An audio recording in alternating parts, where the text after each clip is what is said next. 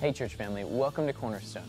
I'm Brandon Vyeth, discipleship and young adult pastor, and I'm excited for us to worship and pursue God's presence together today. Whether you've been coming for a while or today's your first visit, on campus or online, we're so glad that you're joining us.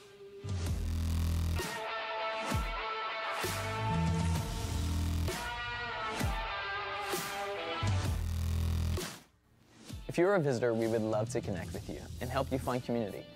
For all our in-person guests, we have Connect cards in the seat back in front of you. You can fill out the card and bring it to the Info Center in the lobby for a welcome gift after the service. Our Info Center volunteers are also available to help anyone with questions or ways to connect with our community. If you're a guest watching online, visit the helpful connection links below this video.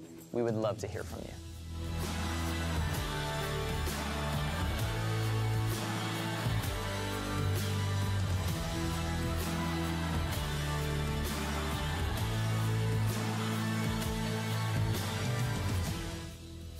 Cornerstone, we believe in the importance and the power of prayer. Whether it be a request or a praise report, we want to come alongside you in speaking directly with God.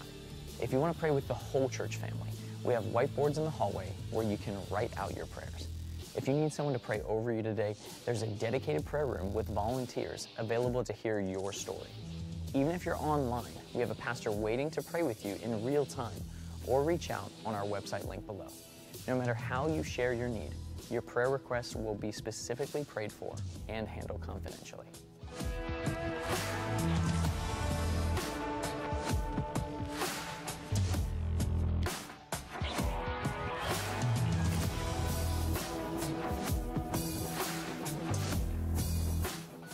We believe that another way we worship God is by giving back a portion of what He has so generously given to us. Your financial support allows our church to better serve God and serve others, both here in our local community and throughout the world.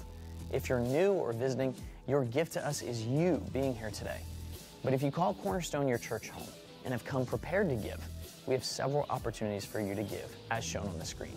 We can't thank you enough for your faithful giving.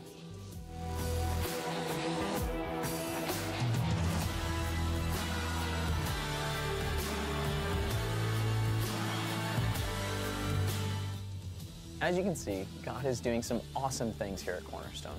We'd love for you to jump in and be a part of it. Worship is going to begin soon, so take a few seconds to focus your attention on the Lord. Thanks again for being with us today. Good morning, Cornerstone. So good to see you this morning on this nice fall morning. The winds are blowing, the leaves are falling, the sun is shining. It's a new season, and God wants to always bring new seasons in our life. So, welcome. My name's Don. I'm one of the pastors here. So good to have you all. And if you're in the loft, a big shout out to all our loft folks up there. And if you're part of our online community, God bless you and welcome aboard. And if you happen to be first time guest here, one of the things we ask our first time guests is right in front of you in the seat back, there's what we call a Connect card. We just invite you to fill that out, and you could do one of two things with it. You could either drop it in any of the boxes outside of our door, offering boxes, or could take it to the information center, which is in the lobby. And you can get a free gift there, which is really neat, but we also get a chance to say hello to you that way. So if you're a first time guest, welcome to Cornerstone. We know the service will be a blessing to you today. And also today, we're going to dedicate some children to the Lord today.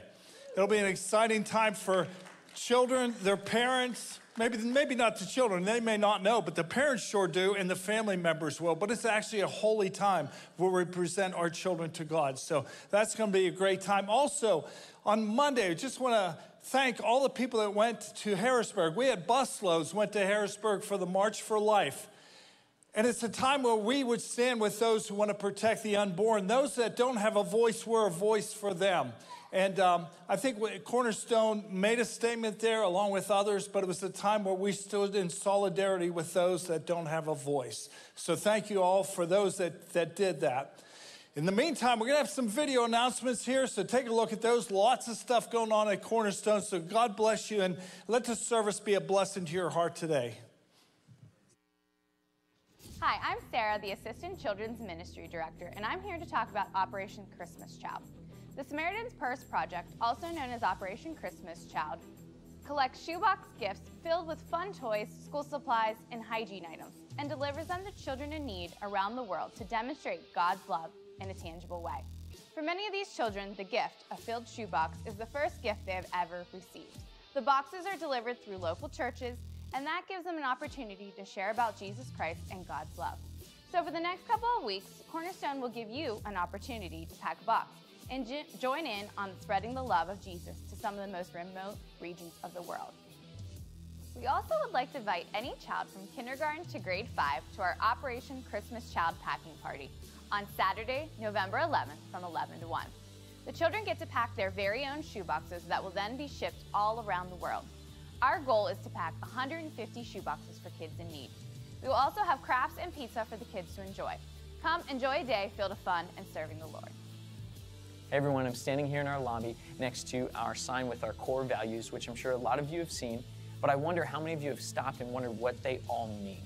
Well, I want to invite you to come to our membership class Sunday, November 5th from 12:30 to 4 p.m., where we're going to dig into what we believe and why we function the way that we do. Paul uses the Greek word koinonia, which means co-laborers in the gospel. We want to have incredible unity as we further the kingdom of God together. So sign up online, and we hope to see you at membership. Hi, I'm Mark Thomas, Pastor of Outreach here at Cornerstone. And if you notice on your calendar, falls upon us, and Christmas is just around the corner. And with Christmas at Cornerstone comes Angel Tree and Christmas food basket. So if you or someone you know are facing economic challenges, you can stop by the Information Center after services and pick up an application. Deadline is November 12th, and our distribution is Saturday, December 16th. So I encourage you, if you're in need, come by the Information Center, fill out an application, and we'll see you on December 16th. Well, good morning, Cornerstone. We're glad you're here with us. Would you stand with me? We're going to worship.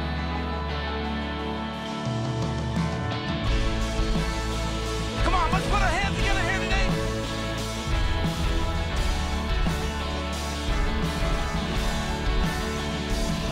We worship the God who was.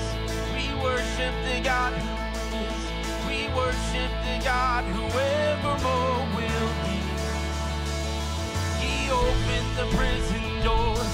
He parted the raging sea. My God,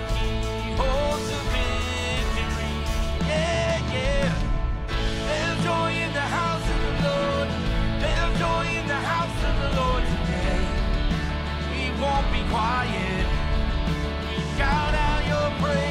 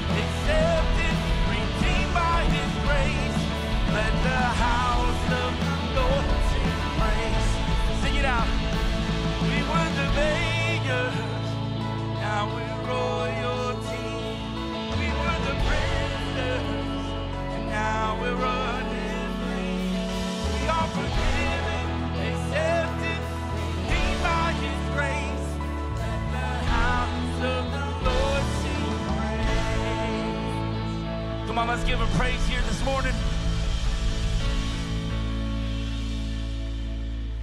There's joy in the house of the Lord, amen.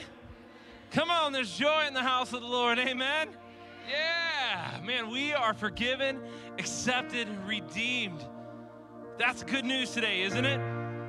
Um, church family, welcome. I'm so glad you're here. And uh, it's great to be able to take some time and just lift our voices in worship and in gratitude for who the Lord is and for what He's done. And as you know, we're in the middle of our All Church series, our, our King series. And um, as we were doing some planning, this song just just rose to the surface and um, and it, it, it just helps us say a few things it's a it's a great song that that goes along with our king series that speaks of the majesty and the glory and the the honor of god the holiness of the lord and our our place of surrender to the lord and so i would invite you as jeremy leads us in this today help me help us sing it out and uh, you'll pick it up quick and just worship the Lord with it. It's going to be a, a, a, a time where we just lay ourselves before Him and let Him do what He does. Let's sing. Enthroned in glory, my Savior King. Your loving kindness has welcomed me. Though I'm unworthy of majesty, you wrap the lowly in royalty. Yes, I will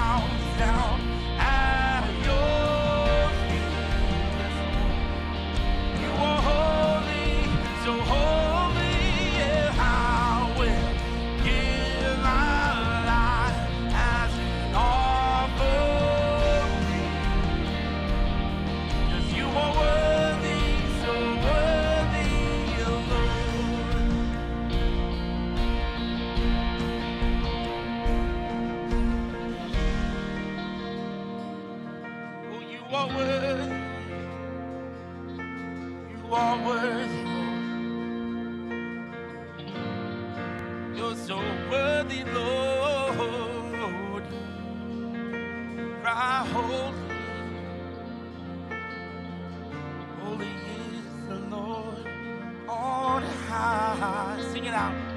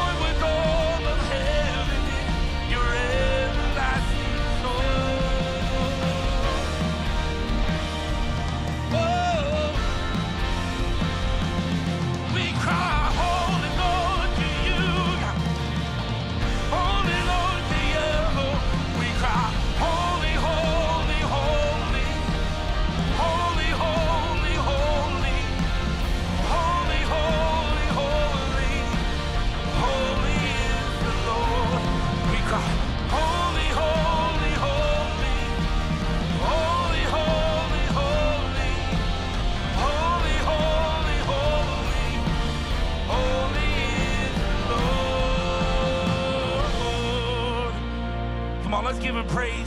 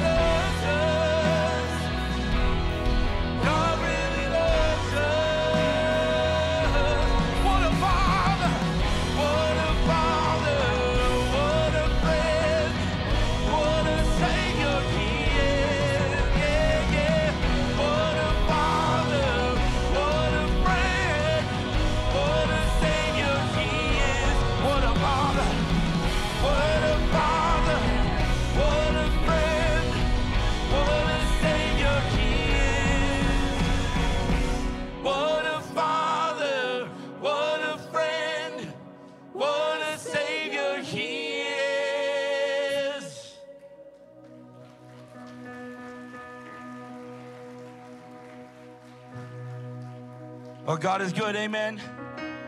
He is a great father, He is a friend. He loves us. He really does love us, amen. Come on, let's give Him praise one more time. Ooh, God is good. We're so blessed to be able to, to worship Him freely here. We're so glad you're here with us today. We have a very special morning. We're gonna have some baby dedications, some super cuteness coming up here. So if you have a baby that's getting dedicated, you can come forward. And as they're coming forward, say hi to someone. Tell them you're happy to see them. Shake some hands. Have a seat.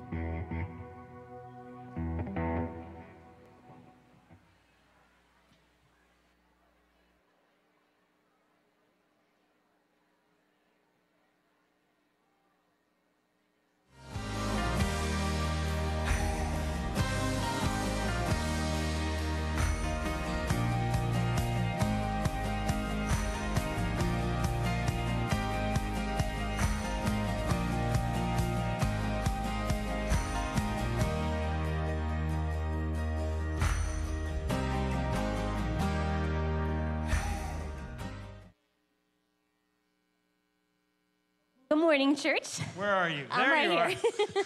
I'm Jenny Marsley, the Children's Ministry Director, and one of the joys of my job is to get to meet new little babies that God brings into the world. And so I get to introduce these three great families to you. First, right next to me, we have Lauren Metz, and she is dedicating her son Maverick Lee. Can you say hi Yeah. So this is little Maverick. And then next to them, we have the Zimmer family. This is Tyler and Kaylee, and they are dedicating Franco Vincent to the Lord. Franco. And I just have to do this plug. They met outside of church, but they got close while they were serving together at the warehouse. So for all of you who oh. are single, serving is the way to go. And I have a spot for you in children's ministry, but we're really excited to see them growing in their faith and bringing their little one to the Lord. And then finally, over here, we have the Giuliano family. This is Adam and Amy, and they are dedicating their second son, Mason Wayne, to the Lord. And we have older brother Noah looking on. Wow. Good job, Jenny. Yeah, amen, that was. I heard it. Yeah. How are you? You guys really picked a horrible time to have kids. Have you watched the news lately? Uh, I'm just kidding. It's always a good time because it's in God's plan. But this are days and age. I think we have some days ahead of us when uh, we need to be bold about our faith. We need to tell our kids very clearly about Jesus and how he saved us and how we need to love him and seek God's will for our lives. And then the other thing is, I just want to assure you that uh, re- the Bible's really clear, Deuteronomy 6, that the responsibility before God for raising our kids to love God uh, falls on parents. But the church has a real role to come alongside you. We get to cheer. Uh, we get to hopefully bring pro- programs and so forth, but we just want to back you up in every way we can because no matter what else we do as a church, and there's a lot of wonderful things we're doing, but the one that matters the most to me is I want to see our kids eventually. I want to have a long life here, but I want to see them with us in heaven. And that means more to me than anything else. And so we have these vows that you're going to take right now.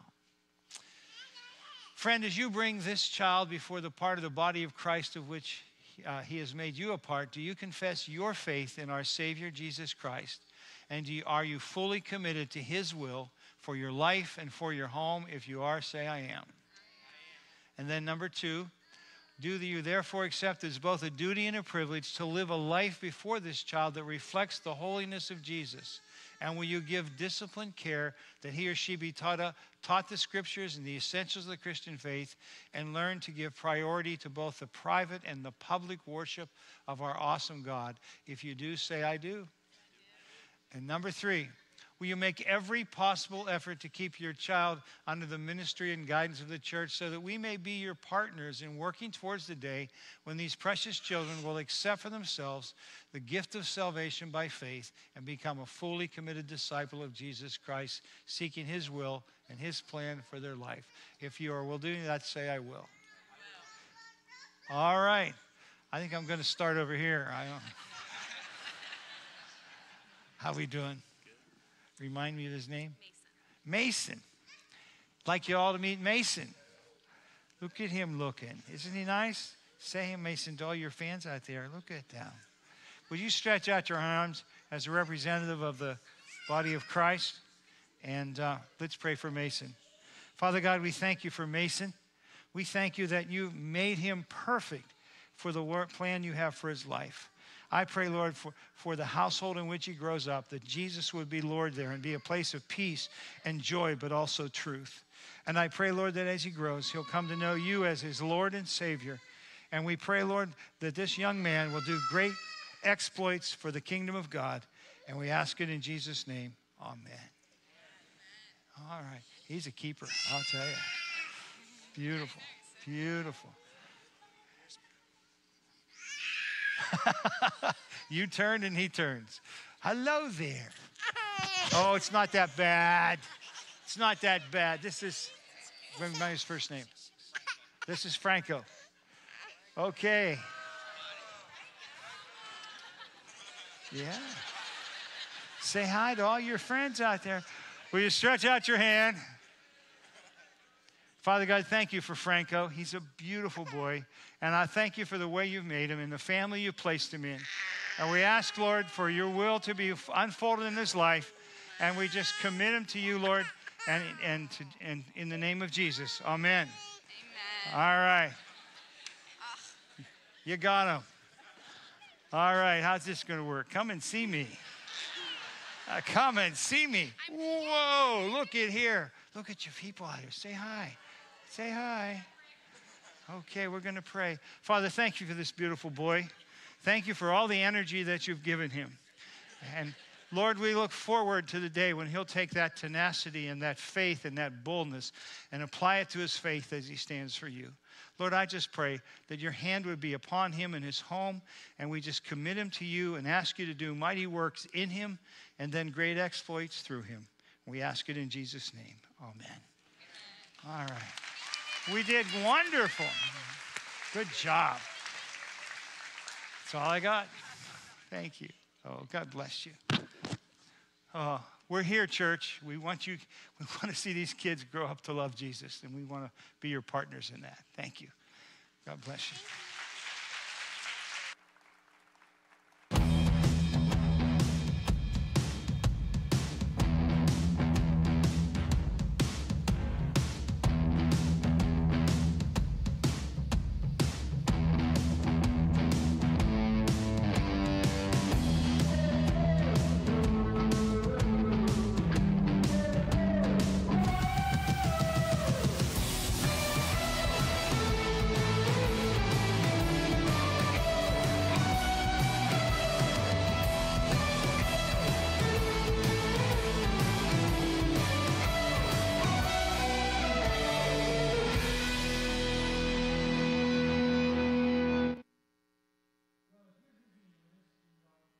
To have you with us just to kind of let you know what we're doing. You might have seen the timeline in the lobby or maybe a bulletin that you have, but we're looking at the kings of Judah, of the southern kingdom after the division of the kingdom, in, in what God can teach us. You know, the, the king, a king is just a human being like you.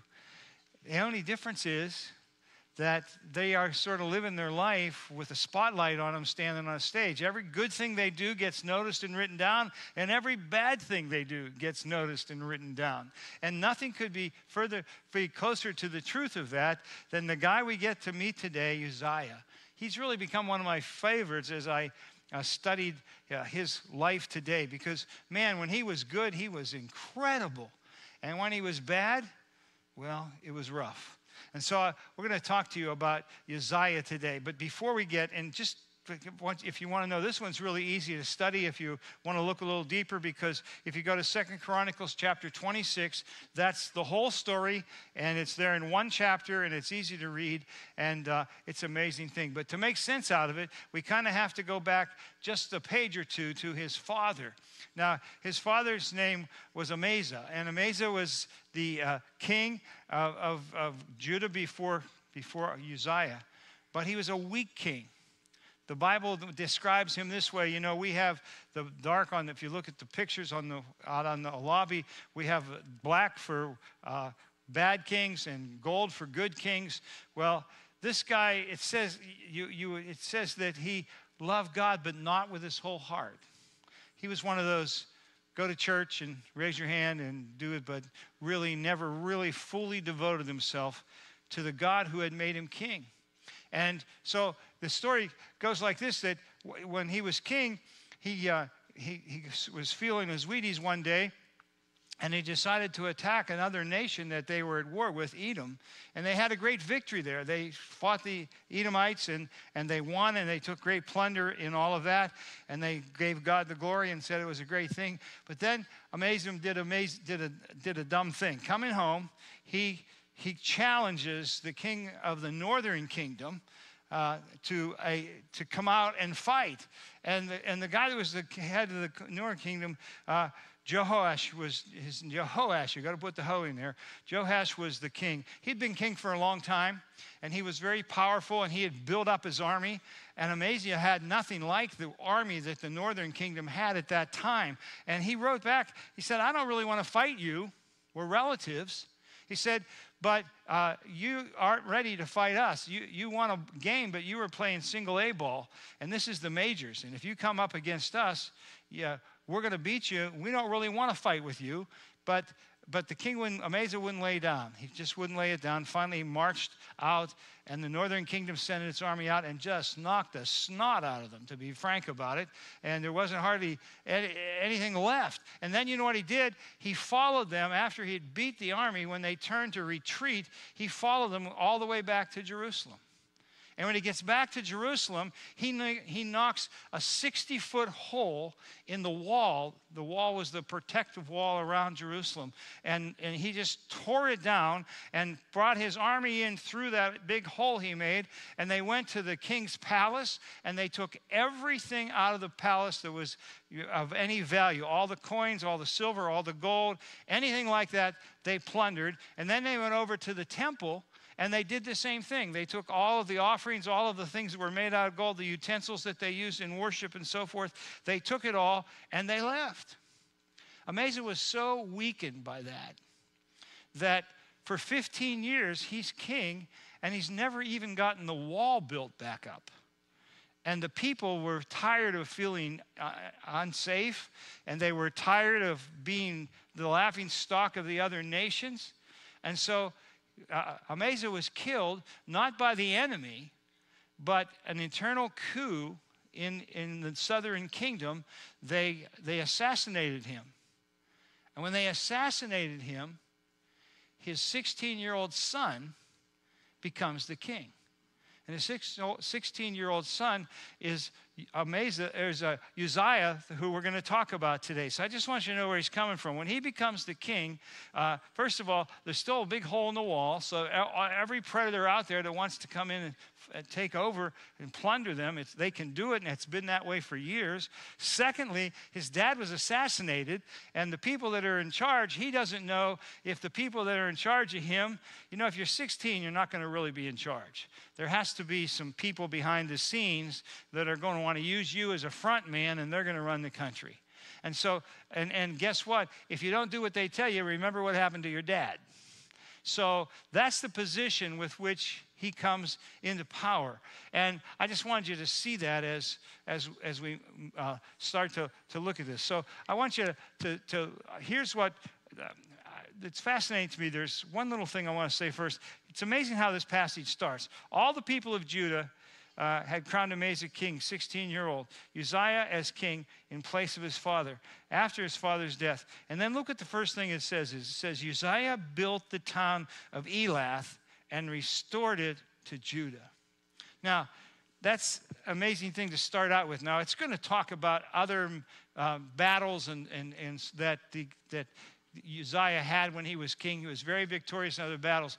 But it's interesting to me that right off the bat, in the first sentence almost, it tells you that he, he as soon as he was in power, they attacked Elath. Now, I got to put a map up here for you. See, here's, here's Judah, our kingdom. And here's the northern kingdom. And I want you to notice something. Here is the Philist- where the Philistines are. You know what we call that today? Gaza. Isn't it amazing how things change, but they stay the same?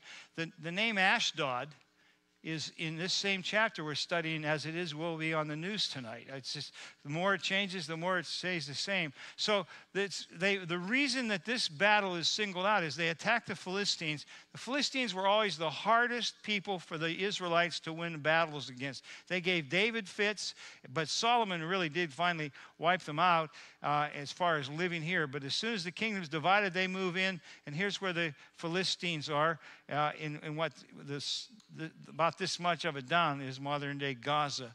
Now, this was really important because I want you to notice see, here's the sea, and Philistia stands between Judah and the Mediterranean Sea. You know what that meant? After Solomon is gone and the kingdom divides, the southern kingdom is landlocked. They have no access to the sea. You know what that means? That means they couldn't be involved in commercial trading.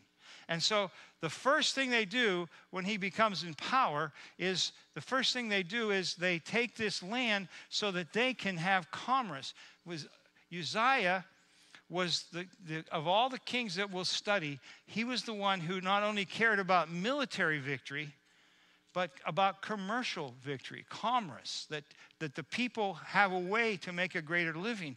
And so they needed things that could be traded. There's a great road that goes clear to India that, that goes by here, the road by the sea. And great commerce, both coming on boats and coming on, by the road that goes beside it. And Judah now becomes a player in commerce. And that was one of the first things that Uzziah did. Now let's go back and read. Um, here they are. Found them. Let's read um, Second Chronicles chapter 26, verses 4 and 5. Uzziah did what was right in the eyes of the Lord, according to all of his father Amaziah had done. He set, him, he set himself to seek God in the days of Zechariah, who instructed him in the fear of God. As long as he sought the Lord, God prospered him. A couple of things there I want you to look about.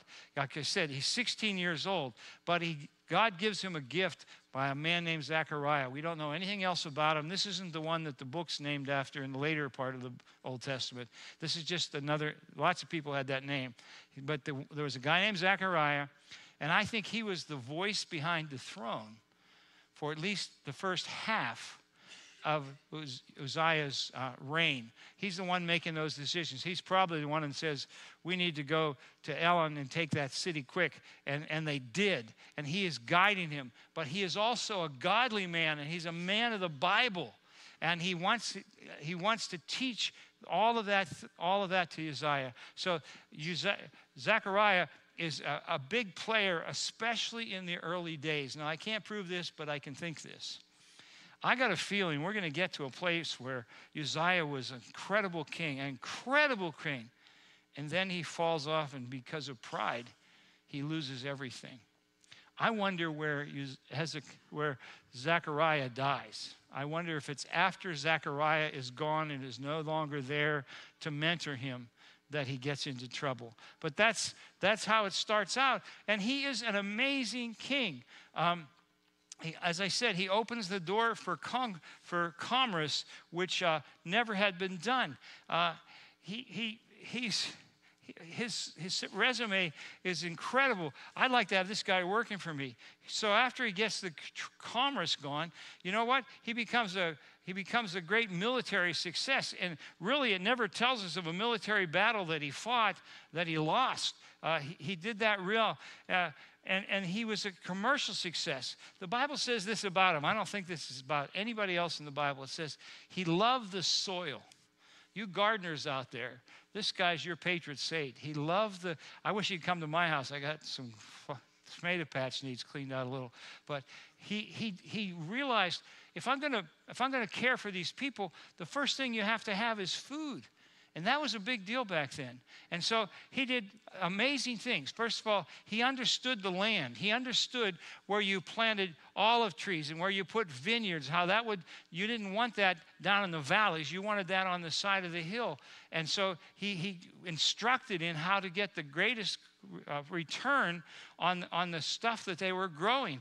And then, secondly, he did something no one else had ever done before, at least in Israel, and that was that he dug wells. Now, they dug wells next to their cities. But he's the first one who said, We don't just need wells next to our cities, that's for people. We need to dig wells and build cisterns where there's runoff for our livestock. And he had a humongous amount of cattle and sheep and goats. And, and that meant the people had something to eat. And it was more than ever before. And, and so he, he just, he did that, uh, working the soil his, with his own hands and then enhancing the livestock. And you can imagine, one commentator I read said that we're going to look at Jehoshaphat in a couple of weeks. That Jehoshaphat is the only of the one of these kings we're studying who brought prosperity to the country of, of southern kingdom more than our Uzziah did. So he he made the things better for anyone. And then uh, he he not only he, he, the way he treated his army was amazing. He would he could have taught at the war college. I mean, he brilliant about the way he treated him. He looked at his pen. There's no record when the you know the king had the right to go to any household and say, "I want your son to fight in my army." They, you could conscript anybody you wanted if you were the king. They lo- they literally belonged to you to go to war. But you know, there's never any record that when the kings would conscript the people to go to war, that, he, that the kings would ever equip them. And so, literally, you would find your your 18 year old son who's been taking care of your livestock and home, the king comes in and takes him and says, I'm putting him in the army. You know what they never did? They never gave him a weapon. And so you, you, you, you would see these young men going into battle against trained troops on the other side, and they're carrying a pitchfork. Or sometimes they only have a, have a stick that they're going out into battle for. And that doesn't exactly build confidence, you know. But when Uzziah comes, listen to what he does. He equips his entire army. He had 300,000 soldiers in his army, and he had 2,600 special forces. And that was, it's a brilliant thing. He, uh, he did some amazing things. This is the first time we saw divisions in an army. You know how, like in World War, like in the Civil War, you would see there was the first Pennsylvania and the third Delaware, and, and how those people coming from the same area could be in the same group to fight and hold each other up. Well, he did that then. He took the elders from the different tribes and he had them be heads over different parts of the army. And that built tremendous confidence in, in one another to have your brother and your uncle and your cousin around you. And then he equipped the army like no one before him. Look at uh, verse 4 of chapter 26 of Second Chronicles. Uzziah prepared for all the army. Uh, and I prepared for all the army shields. This is what he gives to every every soldier in his army gets a shield they get spears, they get helmets, they get coats of mail. You know, not bulletproof vests, but arrow-proof vests. Think of that. And in those days, that was a big deal. Only the only the uh, the, the rich and the famous had those, but he gave them to everyone in his army. They had bows and stones for slinging. Uh, thrown, you know, David wasn't the only one with a slingshot. That was a part of their of what they fought with. Uh, and so all of this is going on. And then verse 15, I don't know, this really excited me. You may not think as excited as I do, but in verse 15 is an amazing verse. Listen to what it says. In Jerusalem, Uzziah made machines invented by skillful men to be on the towers and the corners to shoot arrows and great stones. And his fame spread far, for he was marvelously helped to, till, he, till he was strong. That means as he's growing up, there's incredibly skilled people around him. But we look at this, he made machines I think that's a fascinating line to find in the Old Testament, and that were invented by skillful men. And so it sounds from this, if you read this carefully, it sounds like he was the first one in that whole region, you know, from Egypt uh, to Babylon, to use catapults when he built his walls. Remember, the wall had been torn down? Well, when he rebuilt the wall, he realized that the walls had been built at the most vulnerable places for Israel to be attacked. So, you know what he did? When he rebuilt the walls, he didn't just rebuild the wall, he built a tower at every place where the where the uh, had been torn down. He, he deliberately said, "You made this weak. We'll make it the strongest spot." And so he had all these towers where the weak spots were, and he turned the weakest thing into the strongest thing. And then he built these machines. And uh, it sounds like he had guys in, in his army who would come to him and he could he, one thing about a great leader is they're a good listener do you know that and the guys would come to him with their little sketches you know and they'd say look uh, i could build this thing that could throw throw 50 pound rock 100 yards and if we start throwing those at the enemy, he may not want to come any closer. And then it sounds like they felt, they felt some other kind of a machine, not a catapult that shows stones, but something that would shoot multiple arrows, that they could load a thing that would shoot arrows into the uh, enemy's line. Uh, I, I just think that's fine. It teaches me that, that not only was he creative and inventive, oh, and he did one other thing when they were rebuilding the wall and putting the stones up, the Bible says that they figured out a way to put holes in the, in the stones where you could shoot your bow, your arrow out, but it's only a hole this big for the enemy to shoot back at you. So you didn't have to get your head up out of the out of where this much of you is exposed when you're shooting an arrow. And so this is why clear down in Egypt they are saying this is marvelous. And I, I, I also want to just tell you that this shows not only the creativity that he had, but it also shows that he was a great leader. Because great leaders are great listeners. And I love that the, something that uh, Jim Wall, who was the head of the Australian Special Forces for years, he said, leadership is maximizing other people's potential. We think of a leader as somebody who can do everything well himself. Nobody's that good. And if you are a really wise leader, you will learn to, he, to figure out the people you have on your team that have special gifts and talents and abilities and insights, engineers, and you'll turn them free. And they'll come up with catapults when no one's heard of it yet, and machines that shoot multiple arrows. Now, he was a great leader. So Judah was the most popular, was the most prosperous during Josiah's reign, save maybe for uh, when Jehoshaphat was in power. And so he was an incredible guy. I mean, can you imagine if you're if you're I, I wouldn't you want to live in Israel during that time? It has safety because you got the best army.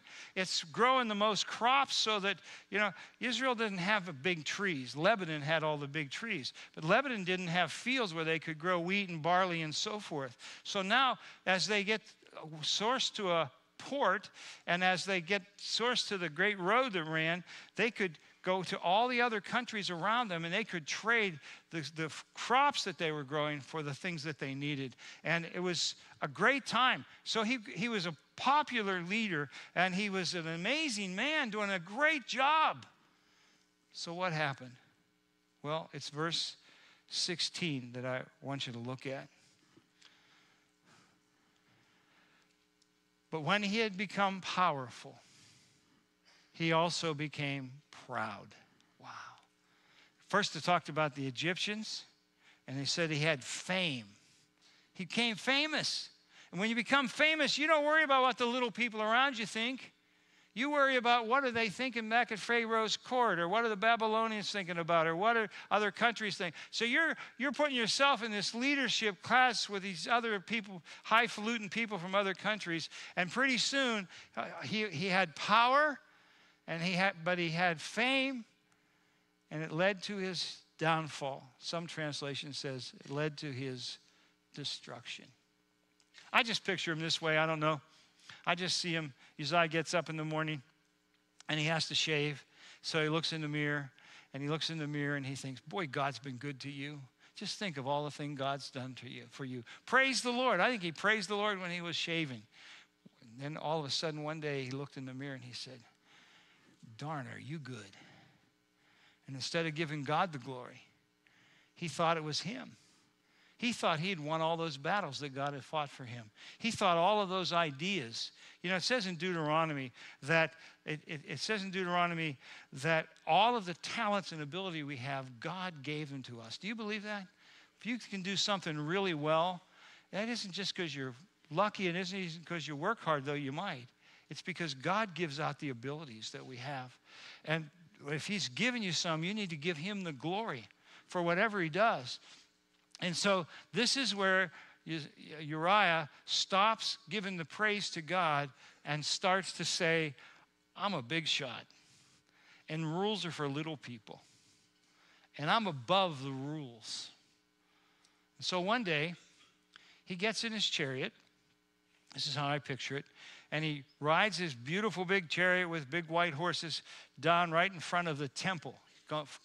He goes from the palace to the temple, the temple of God. And he walks in. And in those days, you know, even in pagan worship, one of the main forms of worship was always burning incense. When you read about kings that fell, uh, burning incense was a way that they worshiped those days. And so he comes up to the temple and he does a terrible thing. Doesn't sound really bad to us, but it sounds really bad to God. He gets out of the temple. There is 81 priests standing there. Only the priests were allowed in the holy place.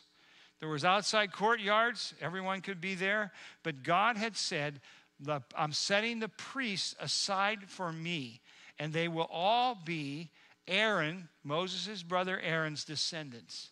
The priesthood is reserved for them. And they, the priest had two big jobs in the holy place. One was they had to change the showbread. Every day, fresh bread was brought in and put on a table. It was to remind them that God was the source of the bread of life. He was the source of all that we need in life. So every day that bread is changed, and only the priest could change that. But the other thing was there was, a, there was an altar of incense. And the altar of incense set right in front of the Holy of Holies. All the priests could go into the holy place. Only the high priest could go into the Holy of Holies, and then only on the Day of Atonement. That's where the Ark of the Covenant was. That's where God's presence over Israel was. One guy once a year could go in there. It was a holy, holy place. But outside of it, it's called the holy place, and that's where the priests would burn incense. But see, Uzziah now, he's a big shot. And he knows that rules are for little people, not him. And so he walks past all the priests, goes into the place where everyone's forbidden but the priests, and he gets his own little censer, incense censer, and he's putting this incense in it, and he's just about to light, light the fire, and the high priest comes in. He says, You don't want to do that. You have to obey God's law. Do things God's way, not your way. And if you do, God will punish you. Well, he's the king. He hasn't anybody tell him what to do since Zechariah died. And so he's, he says, and he's just ready to just really shout out a bunch of stuff at the high priest. High priest brought 80 other priests with him. I mean, they're, they're trying to make a statement. This is our job, this isn't your job. And just as Uriah is about to, say, to shout back at the priest, you know what happens? He feels something funny on his forehead. And in seconds, he's covered with leprosy. God's judgment isn't usually that quick, but it's that thorough.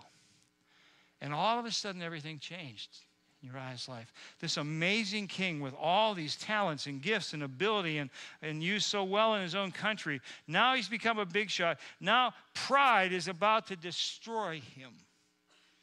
The Bible says that he fought the high priest about being in there. He was pushing back at him until he felt his forehead, and, and then he willfully, with his own will, left the, uh, left the holy place. The Bible tells us the leprosy never went away. Just think about this guy. Just think about this for a minute. One day, he is the most important and the most powerful man in all of the southern kingdom. And the next day, they put a little house behind the palace, a little house.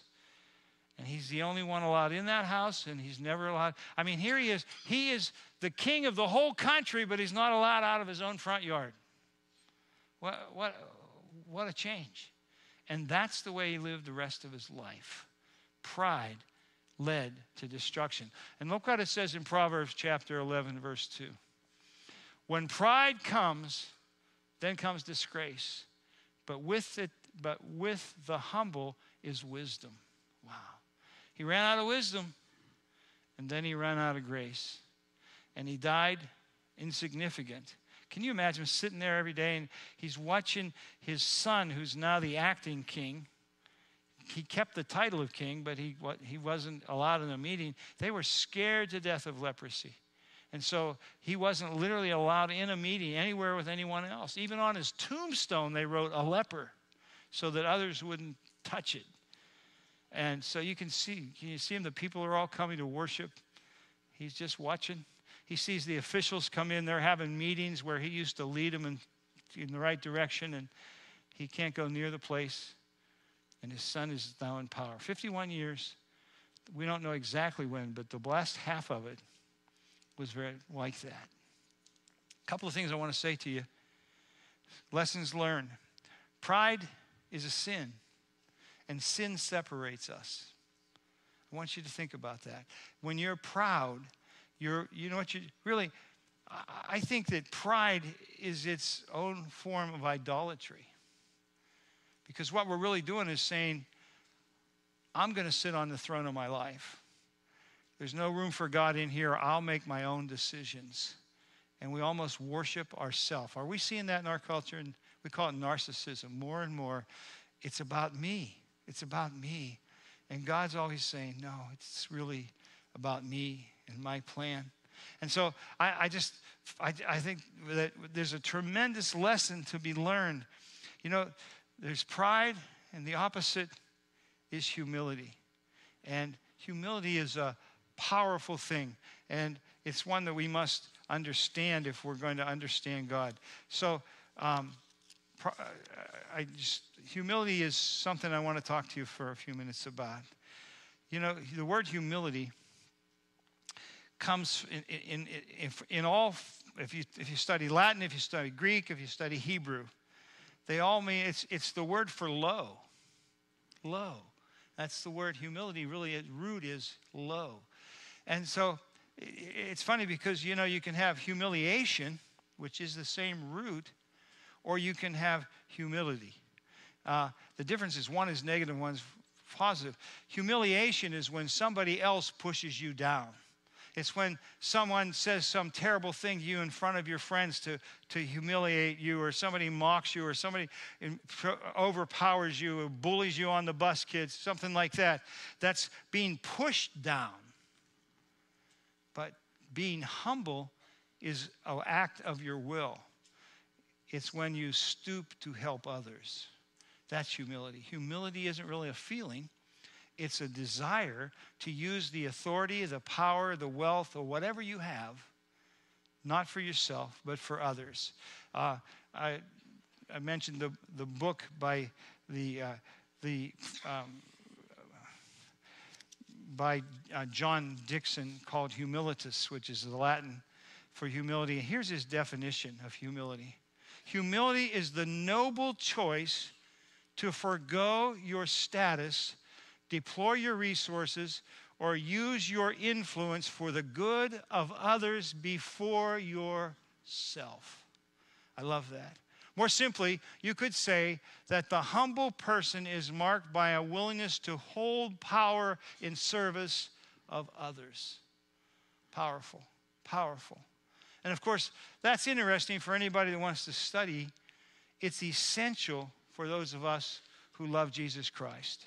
He has called us to humility and to walk that way. And you know, there was a time in the, British, in the uh, Roman Empire when uh, this whole thing was a clash because the Roman Empire, like many empires before it, was built on, on an honor shame system. You wanted everybody to know everything you, you, you've ever done.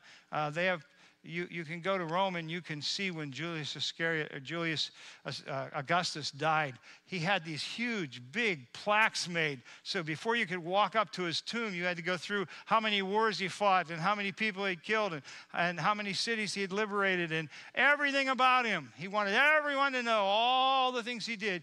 And, and, and, and you wanted to promote. Even when he was dead, he was still in the self promotion business. and then there's Jesus.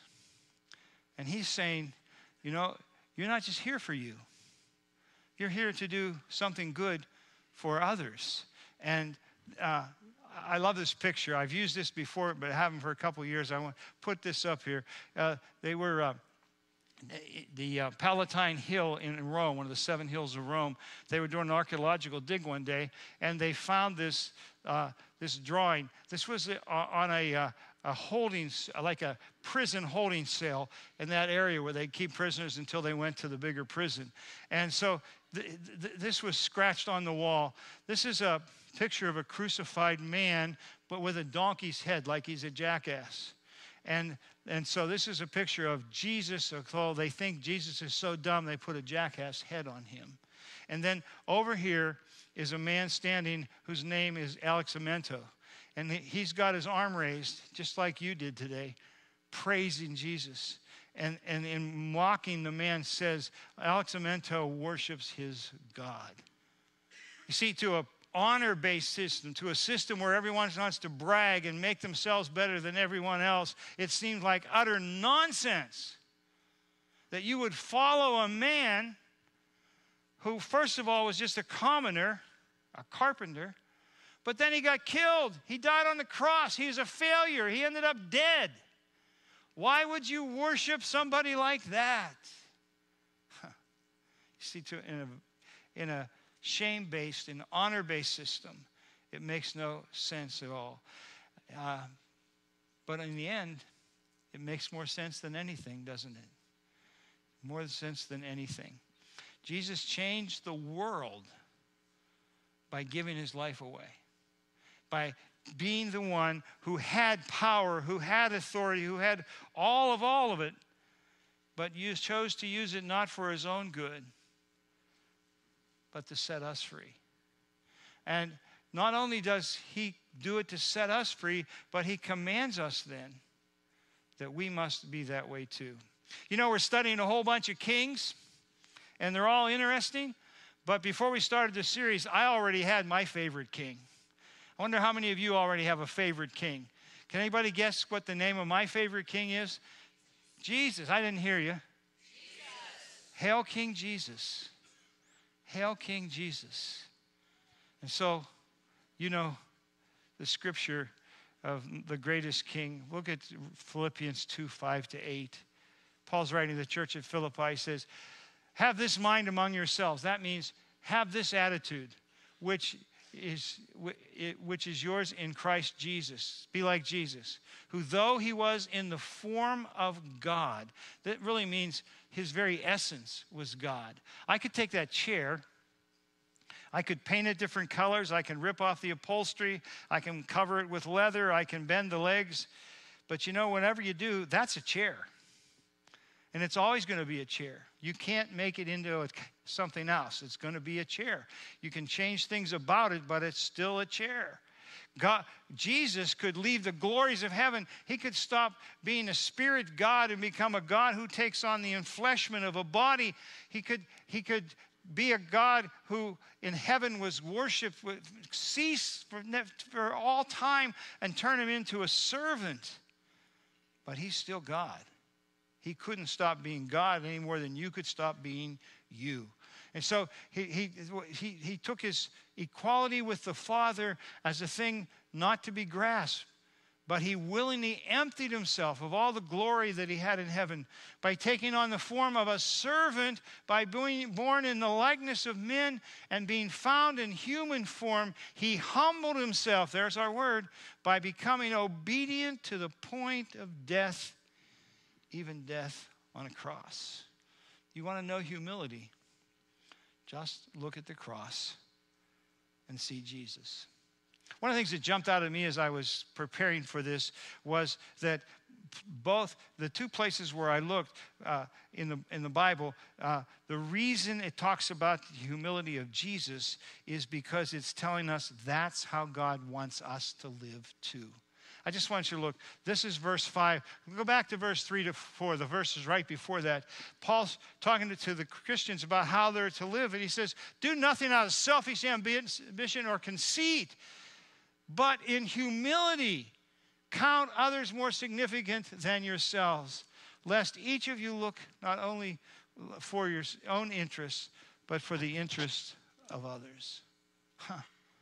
So when we read the thing about Jesus being God become a man to die for our sin, you see what we're really doing is Paul's giving us the reason that we too must walk in humility and use our lives to benefit others. When the church does that, you can't build them big enough. And when the church becomes about us and our pride, any little place will do. One more illustration and I'll be done. Philipp, uh, in Mark chapter 10, verse 42 to 45. This, the context of this is that uh, James and John, the sons of thunder, these two disciples of Jesus, his brothers, they, uh, they pulled Jesus aside one day because they believe that his kingdom is going to be an earthly kingdom coming right now and they know Jesus is going to be the king, so the center seat is full. But then, the, you know, you sit around the conference table, the, the most important two seats next to Jesus will be the one on either side of him, right? And so they're saying, yeah, Jesus, we see that you got these other guys here, but they're not as, you know, they're, they're, they're not in the same league with James and I, John says. So he said, We're just wondering, when you establish your kingdom and you take that center seat on the throne, could we have one of us sit on your left hand and one right on your right hand? And the other disciples hear this and they go, Say what?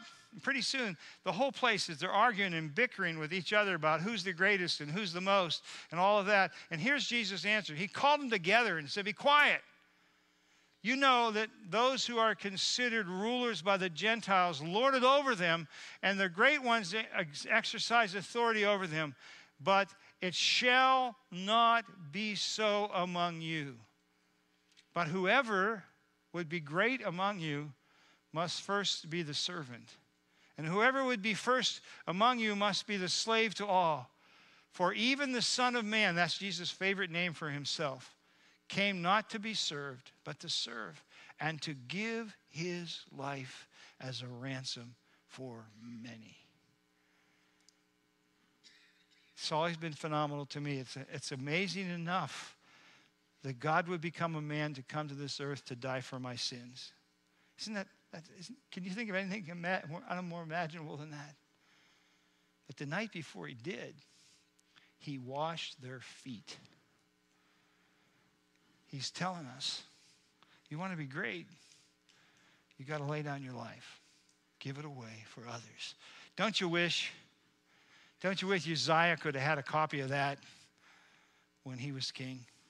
He might have ended up as the greatest king they ever had until Jesus. Let's pray. Father God, I thank you today. I thank you so much that you loved us so much you couldn't stay in heaven.